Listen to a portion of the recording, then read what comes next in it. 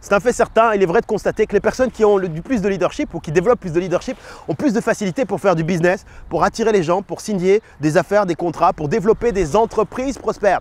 Parce qu'on est attiré par le leadership. Les gens qui, sont, qui ont du leadership nous attirent depuis notre tendre enfance. Il suffit de regarder quand nous étions enfants les héros qu'on lisait, les super héros, les personnes qui avaient cette aura nous attiraient. Eh bien aujourd'hui on fonctionne de la même façon.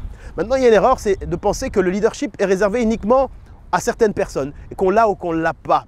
Et pourtant, il est possible de révéler ce leadership, il est possible de développer ces différentes qualités. Et le simple fait de porter votre attention sur les qualités que je vais vous présenter ici vous permettra d'attirer plus de personnes, d'augmenter votre aura. Bonjour, mon nom est Zico Kiak, je suis entrepreneur, auteur de formation best-seller et fondateur de Kiaks Academy. Dans cette vidéo, je vais vous révéler 9 qualités essentielles d'un leader pour développer, révéler votre leadership et d'attirer plus de monde, avoir plus de business, faire plus d'impact autour de vous.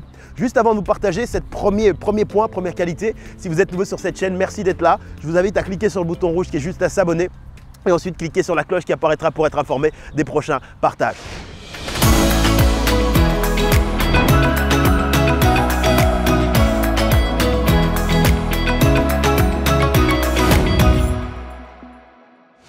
J'en profite pour vous annoncer deux bonnes nouvelles, c'est qu'à la fin de cette vidéo, vous aurez l'opportunité, premièrement, de fixer un rendez-vous avec un membre de mon équipe, un de mes conseillers KIAC, pour pouvoir vous aider à appliquer, implémenter les conseils que vous avez découverts, que vous découvrez dans cette vidéo. Et puis, vous aurez aussi l'opportunité de télécharger des outils, des documents, pour pouvoir les appliquer, ces conseils, vous-même, de votre côté.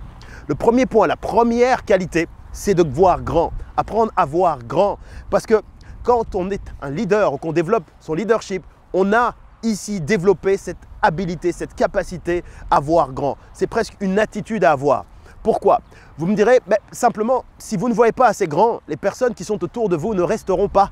Elles ne resteront pas, elles ne vous suivront pas. Si vous avez des équipes, des partenaires, même des clients, des collaborateurs, si votre vision, si votre façon de penser n'est pas assez grande, euh, les personnes qui ont une vision plus grande que la vôtre iront plus loin parce que vous limiterez, vous bloquerez, vous leur empêcherez de pouvoir rêver, de voir plus grand.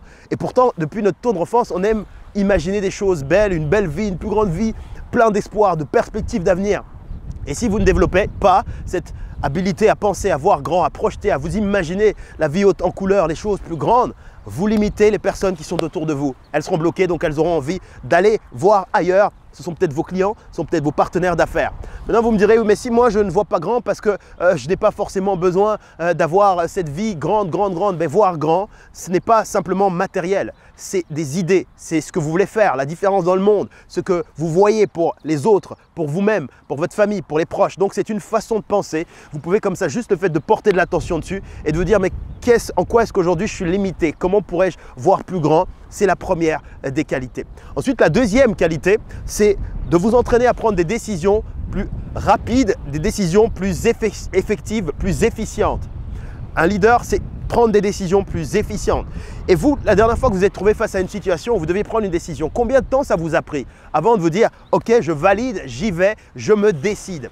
C'est peut-être un jour, deux jours, trois jours, quatre jours. Peut-être que vous ne prenez jamais des décisions. Le leader, c'est prendre des décisions.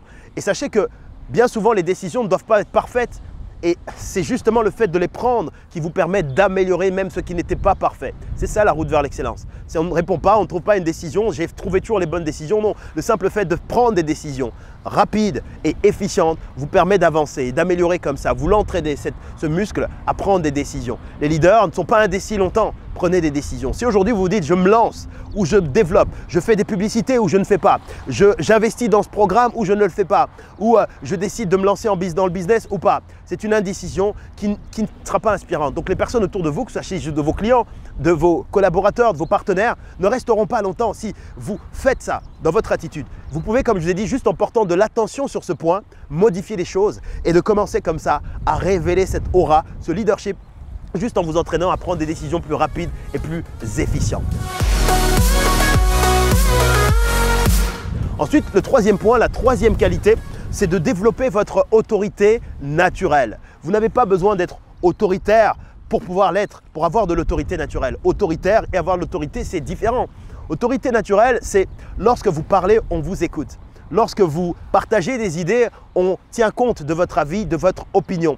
Et pour ça, ça vous demande en fait simplement de travailler votre état d'être, votre positionnement. En termes de business, on parlait de positionnement. On dirait, oui, on peut fabriquer un positionnement. En revanche, vous n'avez pas besoin de fabriquer le positionnement parce qu'au fond de vous, vous avez déjà cette autorité qui est peut-être enfouie. Il y en a qui ont plus d'autorité naturelle que d'autres, c'est vrai.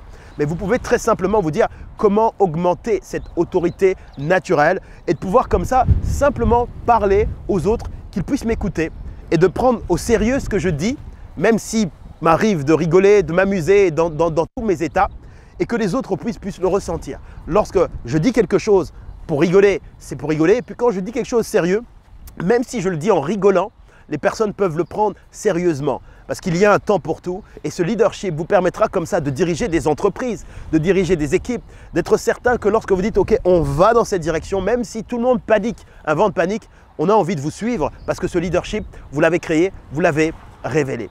Ensuite, quatrième point, c'est d'élever votre niveau d'intégrité. Élever votre niveau d'intégrité. C'est une grande qualité d'un leader, de leadership. Le niveau d'intégrité, Comment pouvoir l'élever C'est simplement de dire ce que vous faites et ensuite de faire ce que vous dites. C'est assez simple, on peut l'observer. Combien de fois avez-vous dit, je veux par exemple réaliser ce projet? Et ensuite, regardez dans les faits et dans les actions. Qu'est-ce que vous avez décidé de faire? Si vous l'avez fait, c'est bien. Si vous vous rendez compte que par vous-même, par des schémas répétitifs, à chaque fois que vous dites quelque chose, vous ne le faites pas parce que vous êtes paralysé par la peur, le doute, l'inquiétude, les événements extérieurs, c'est la faute du monde. Il y a un travail à faire de l'intérieur pour améliorer cet aspect de vous. Parce que ça va retirer votre leadership, ça diminue votre leadership. Et même si ça ne vous semble pas évident, les gens autour de vous le ressentent. Parce que cette aura, imaginez comme ça, si vous aviez une aura autour de vous physique qu'on pouvait voir, elle diminue ou elle grandit en fonction de votre capacité à porter votre attention sur les différents points, sur les différentes qualités que je suis en train de partager avec vous.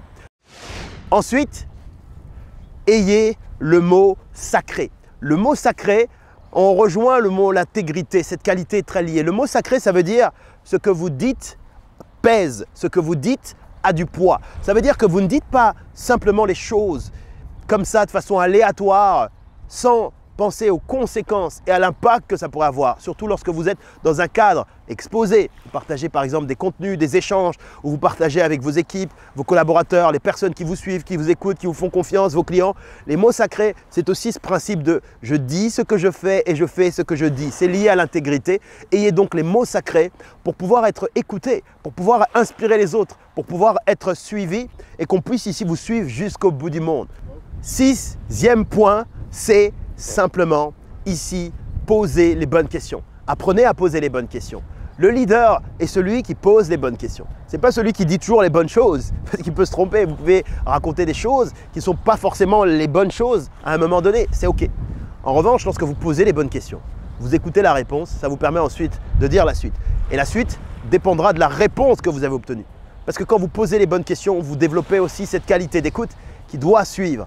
Et celui qui pose des bonnes questions aide les autres à se révéler, à se développer, à trouver les voies, à débloquer les freins, à libérer des blocages. En posant les bonnes questions, vous permettez à toutes les situations de s'ouvrir. Et comme vous avez permis cette situation, en posant ces bonnes questions, vous dégagez cette aura. Parce que ce leadership est apprécié, les gens vous suivent, admirent, respectent et ont envie de vous suivre jusqu'au bout du monde. Septième point, c'est influencer les autres avec bienveillance. Influencer, vous devez être OK avec ce mot. La différence entre influencer et manipuler, je le répète, c'est votre intention. Si votre intention est positive, c'est-à-dire rapport à équilibre gagnant-gagnant, vous avez la responsabilité d'influencer les autres. Influencer vos enfants, influencer euh, les collègues, les clients, les partenaires, les personnes qui vous écoutent pour faire passer vos idées. Et comme je dis, si les idées, c'est un rapport à équilibre gagnant-gagnant-gagnant, c'est important, vous avez cette responsabilité. Donc entraînez-vous à influencer et quand on influence, on sait écouter les autres, on sait leur apporter ce qu'ils veulent, on sait trouver des échanges, toujours avec ce rapport à équilibre gagnant-gagnant. Donc pensez à ça. J'ai tourné d'autres vidéos dans lesquelles je partage des conseils des stratégies pour influencer les autres avec bienveillance. Et je dis bien bienveillance parce qu'il faut aller dans le même sens, dans la même direction.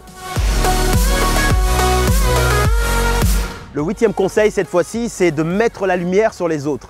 Mettez la lumière sur les autres, sur vos collaborateurs, vos partenaires, vos clients, les personnes qui sont autour de vous. Ne cherchez pas absolument à tirer toute la lumière sur vous, parce que le leader, il sait partager la lumière, il sait mettre la lumière sur les autres. Pourquoi? Parce que lorsque vous mettez la lumière sur les autres, cette lumière reflètera sur vous aussi. Et ça, c'est le plus important. Vous n'avez pas besoin de chercher à aller poser la lumière sur les autres. Et en plus, si jamais aujourd'hui, vous ne mettez pas la lumière sur les autres, sachez que les plus grands talents qui sont autour de vous ne resteront pas auprès de vous Parce que vous éteindrez leur lumière, vous bloquerez leur lumière. Et s'ils ont du talent, s'ils ont en eux ce leadership également, ils auront ici envie aussi de s'exprimer, de libérer leur potentiel. Et sentiront ce frein. Et si vous décidez de mettre la lumière sur eux, ils sentiront qu'ils sont à la bonne place, que vous êtes le bon dirigeant, le bon leader, le bon partenaire d'affaires et qu'ils peuvent avancer avec vous. Et puis enfin, le neuvième point, le dernier point, c'est simplement de laisser les autres vous applaudir. Ne cherchez pas vous-même dire applaudissez-moi, applaudissez-moi. Laissez les autres vous applaudir. Le leader, c'est ici simplement rester dans une forme d'humilité. Il y a différents profils de leader, bien évidemment. Mais celui, moi, dont je parle, si vous vous reconnaissez dans ses valeurs, il laissera les autres l'applaudir. Et ça a beaucoup plus d'impact lorsque les autres vous applaudissent, plutôt que de dire, regardez, applaudissez-moi. Hier, on m'a applaudi. Oui, aujourd'hui, on doit m'applaudir. Eh, qu'est-ce que vous attendez avant de m'applaudir? Laissez les autres vous applaudir. Ils vous applaudiront comment? Parce que vous aurez fait quelque chose qui aura créé un état différent de leur propre vie, de leur propre existence. On dit toujours, lorsqu'à votre contact, les personnes sortent grandies, avant de vous avoir rencontré, elles étaient dans un certain état, et à votre contact, elles sont dans un autre état, positif, dynamique, elles se rappellent de vous. Elles ont même envie de vous applaudir. Vous applaudir avec les mots, avec la pensée, avec l'intention et avec les gestes. Et ça, c'est une des plus grandes récompenses que vous pouvez avoir en développant votre leadership. Dans cette vidéo, nous avons vu ensemble 9 qualités à pouvoir développer pour augmenter, révéler votre leadership, devenir un leader inspirant qui impacte la vie des autres, qui impacte la vie des clients, des collaborateurs, des équipes, des partenaires, des personnes qui vous entourent. Et si vous appliquez ici les différents points, portant votre attention sur ces points, vous allez voir que quel que soit le niveau où vous êtes, quelle que soit votre pensée ou l'histoire que vous racontez sur votre niveau de leadership, vous augmenterez votre leadership. Et si vous avez apprécié cette vidéo et que vous voulez savoir comment influencer les autres avec bienveillance, avec leadership, j'ai créé pour vous une méthodologie qui s'appelle la méthodologie de la persuasion 101%, qui vous permet ici de pouvoir convaincre n'importe qui, une personne que vous connaissez, un parfait inconnu, avec sa bénédiction, avec un rapport à équilibre gagnant, gagnant, gagnant. Vous pouvez découvrir cette méthodologie en cliquant sur le i comme info si vous êtes sur mobile ou le lien est quelque part dans la description. Vous aurez également l'occasion de pouvoir découvrir une présentation dans laquelle je vous montrerai le modèle de business qu'on utilise simplifié pour pouvoir lancer et propulser des business, impacter la vie des autres avec beaucoup de leadership. Tout est indiqué ici quelque part sur cette page. Je vous envoie toute mon amitié. Si vous avez apprécié cette vidéo, dites-le moi avec un grand pouce comme ça vers le haut. Ça dure deux secondes et ça permet à l'algorithme de YouTube de partager cette vidéo à d'autres personnes. Vous pouvez également vous abonner en cliquant sur le bouton rouge ici, s'abonner. Et puis laissez-moi au bas de cette vidéo, dites-moi quelles sont les qualités de leadership qui sont les plus pertinentes pour vous que vous allez découvrir dans cette vidéo. Et s'il y en a d'autres, partagez-les moi. Beaucoup de plaisir à pouvoir les connaître, les reconnaître et les ajouter dans d'autres vidéos toute mon amitié, mes passionnés de liberté. Je vous envoie mes meilleurs voeux de succès et de liberté. C'était Zico Kiax. À très bientôt. Merci.